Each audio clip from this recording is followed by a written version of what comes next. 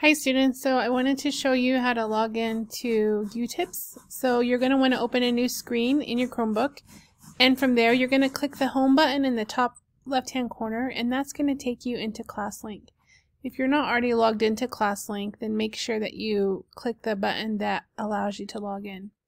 And so when you're in the ClassLink homepage you're going to see this green icon that's called UTIPS and when you click it it will open up the UTIPS page and your username and password should already be right there. So all you have to do is click login.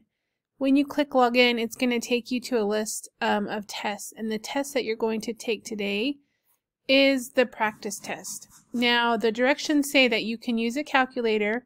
This is a practice test to help you get ready for the real test tomorrow. And so the goal is to take this practice test until you get 100% on the practice test. And that will tell me and it will also make sure that you are ready to do well on the real test tomorrow. Because when you take the real test tomorrow you're only going to be allowed to take it one time. And so the questions are very similar.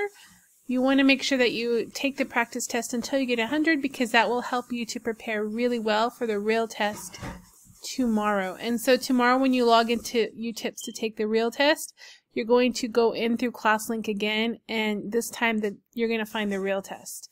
And it won't say practice test, it will say volume and area assessment.